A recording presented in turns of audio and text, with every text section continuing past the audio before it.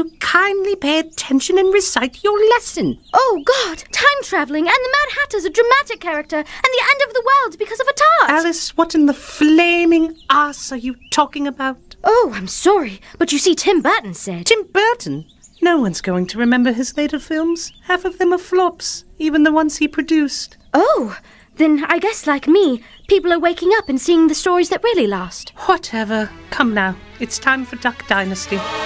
But this world was called Underland. That sounds stupid. And it had a breakdancing Mad Hatter. You're talking like a moron. And there was a lot of discussion about home ownership. Shut up now. And I was in a mental institution. Well, that I believe. And we killed God knows how many people just to make an awkward actor happy. I swear to Jesus, Alice, I will strangle you with my bonnet if you don't stop your goddamn yapping.